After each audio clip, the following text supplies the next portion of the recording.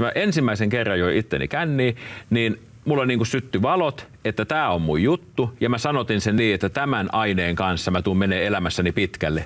Se vei sellaisen pelo, pelurin epärehellisyyteen, eli kaikenlaista tekosyytä, jolla, jonka varjolla yritti saada ihmisiltä rahaa lainaksi.